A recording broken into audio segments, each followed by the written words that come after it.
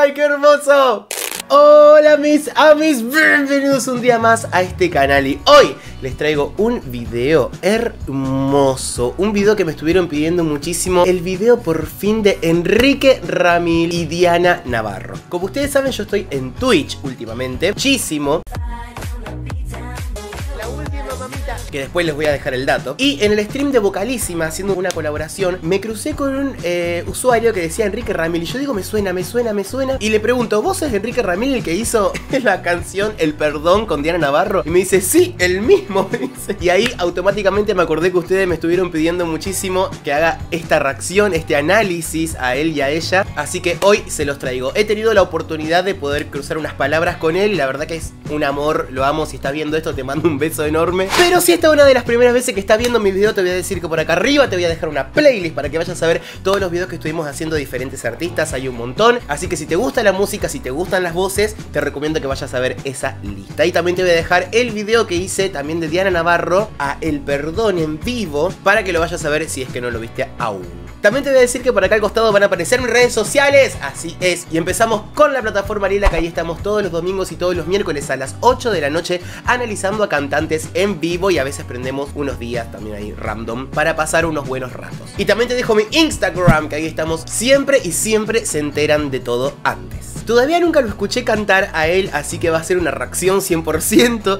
Vamos a ver con qué nos vamos a estar encontrando. Yo tengo entendido que él da clases de canto, así que seguramente tiene una técnica ahí muy buena. Les recuerdo que puede aparecer un poco raro por aquí por el tema del copyright, así que ustedes ya saben igual que lo voy a hacer lo más lindo que pueda. Y también te voy a decir que si querés colaborar con este canal, abajo tenés el botón super gracias para poder colaborar. Y ya que estás ahí abajo me dejas un comentario, le pones like al video y te suscribís a este canal si querés muchos más videos. Bueno amis, entonces ahora sí, sin más, le vamos a pedir entonces al señor director a intro.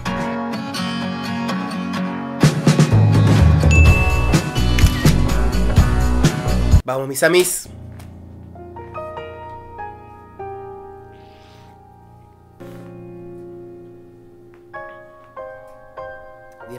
Lo que canta esta mujer, por favor. Por las veces que me engañaste, por los hijos que no me diste, las promesas que no cumpliste y los Mm. besos que no sentiste, el perdón. El perdón. Por haberte callado tanto. ¡Qué grave! Mujeres que mantuviste por los abrazos manipulados, por los enfados descontrolados, el perdón. ¡Ey! El perdón. Unexpected voz grave. ¿Qué pasó? No sé por qué no me lo esperaba, pero cómo me gustan, cómo me gustan. Aparte, adentrándonos ya en la historia con una voz susurradita. Sabemos, porque ya la escuchamos en este canal, ya sabemos que es una canción donde la interpretación es... Te diría fundamental, es una canción muy hermosa. Y aparte ustedes saben que a mí las voces graves, lo vengo repitiendo hace un montón desde que empecé el canal, les vengo diciendo que las voces graves para mí son todo lo que está bien. Seguimos.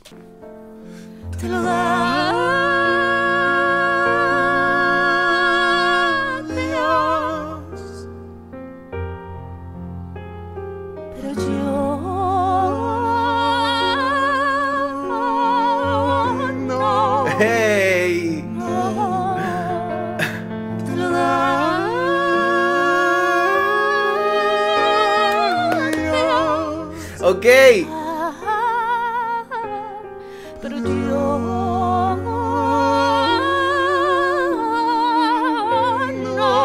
A mí hay algo, en ella hay algo que me fascina muchísimo, que es este quiebre vocal que hace sin disimulo, que le da un carácter tan hermoso. Obviamente yo creo que tiene que ver con la cultura, como hablé en el, en el video pasado. Pasar por ese quiebre y hacerlo intencional. Mientras él le está haciendo una voz abajo que nada tiene que ver con la melodía principal, él está haciendo una armonía abajo de tres notas dos, tres notas distintas para armonizar, pero desde abajo. Que tiene por ahí a veces, o por lo menos para mí, más dificultad que hacer una voz arriba. Esto porque a mí siempre me han llevado trabajo hacer voces y siempre me resultó mucho más fácil arriba. No quiero decir que siempre sea así. Por lo menos a mí siempre me cuesta hacer voces desde abajo. Y más cuando no son lineales, cuando no es la misma melodía que está haciendo la voz principal. Hay que tener mucho oído armónico. Si es que no está escrito en una partitura. Cuando está escrito en una partitura es mucho más fácil. Pero cuando cuando vos orejeás o cuando vos estás, no sé, en una zapada con un amigo y le querés hacer una voz abajo y la voz no es lineal, o sea que si vos haces la misma melodía que está haciendo la voz principal, la haces abajo, choca armónicamente. Entonces ahí es donde tiene que venir tu oído armónico, estar lo más desarrollado posible para poder hacer una armonía con una melodía que no tenga nada que ver con la voz principal. Y tiene una voz bastante grave, entonces capaz que tiene el mismo registro. Él está pasando ahí, a ver, para.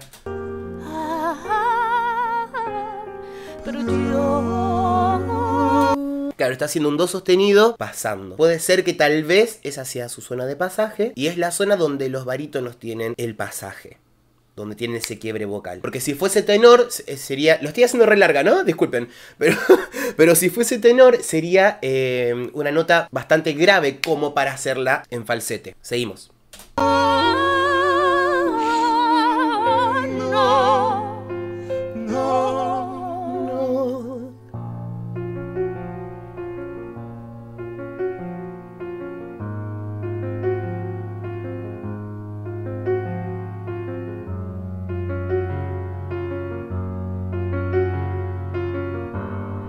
Ay, el drama, el drama que. Ay, esta canción me encanta. Por creerte que eras mi dueño, manipulando todos mis sueños, enredándome ¡Ay, con qué lindo! caricias, engatusándome con mentiras el perdón. El perdón. ¡Ay, qué hermoso! Por haberte sentido sucio Mayoriza. con el amor que mi amor te daba, despreciándome con silencios, la avaricia tu viva estampa, el perdón. El perdón. Me gusta mucho- Pero- perdón. Me gusta muchísimo la, eh, la postura que ella está teniendo. Es una postura que habla mucho de cómo ella está tratando de ejecutar el sonido. Esto. Esto tiene mucho de concentración, ¿entendés? Está concentrada en el cuerpo para poder ejecutar la voz de la mejor manera. Encima, no es que por ahí está. Viste que hay veces que cuando no tenés por ahí mucha técnica o algo, es como que te agarra el vicio de intentar afinar con el cuerpo. Y como. eh, eh, y es como. ah, ah, y todos movimientos que por ahí a veces están de más y desconcentran a la técnica. Y pasa. Esto pasa mucho en el canto lírico. Poder como tener este lenguaje corporal, ¿no? Estar lo más derecho posible, como para no interrumpir este flujo de aire, la columna de aire y tratar de mantener la postura. Y que todo ese drama, toda esa interpretación esté puramente en la voz y en la dinámica. Es difícil, no es fácil. Y él hizo acá encima una melodía que... Ay, por favor, caricias, engatusándome con mentiras el perdón. El perdón. Ay, nene.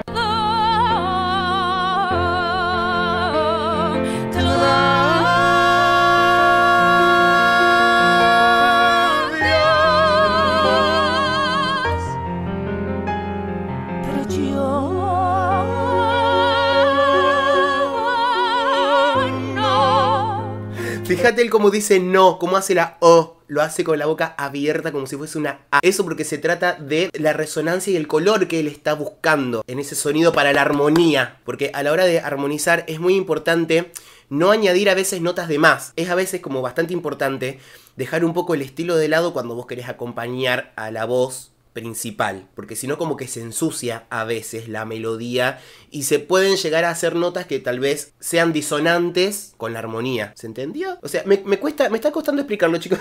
Espero que se entienda. Ay, la con madre, me cagué quemando. Bueno, me quemé. Aquí no ha pasado nada, seguimos. Me tragaré el dolor.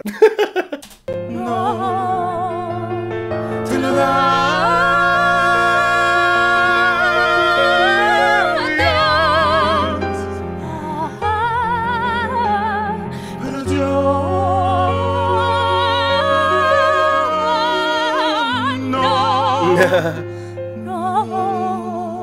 ella tiene la voz súper redondita. burlado de mí. Ay, tú te has burlado de mí.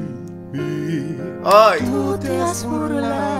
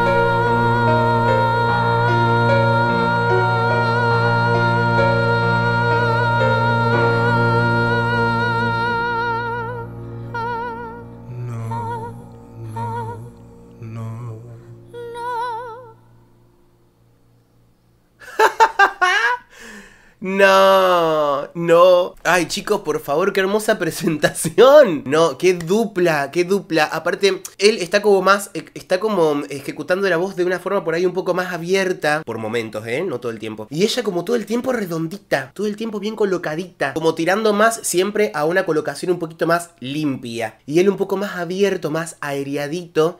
Es como que las dos voces hacen esto, ¿entendés? Encastran hermosamente. Díganme si esta gente hizo algún otro dúo o algo porque necesito verlo. Y hay algo que quiero rescatar de esta presentación que predominó muchísimo la interpretación y los sentidos. Chicos, es una canción que tiene mucha interpretación, que es, muy sentida, maneja un, un nivel de drama hermoso y tienen que estar los dos en sintonía. Entonces, para mí entre los dos hubo un muy lindo trabajo y de ponerse de acuerdo en, esto de la interpretación, llevándolo a lo vocal, en sostener notas entre los dos súper largas. Hermoso, chicos, me encantó. Si quieren más videos de ellos, ya saben. Artista nuevo en el canal Enrique Ramil. Diana Navarro ya la teníamos. Así que para mí fue hermoso poder ver este video y encontrarme con una voz tan, tan bella. Amis, Gracias por haber llegado hasta este momento del video, como les digo siempre que para mí es un montón. Bajá, suscribite, ponerle me gusta, hacer todas esas cosas que hay que hacer. Te mando un beso enorme y nos estamos viendo en el próximo video. Besos.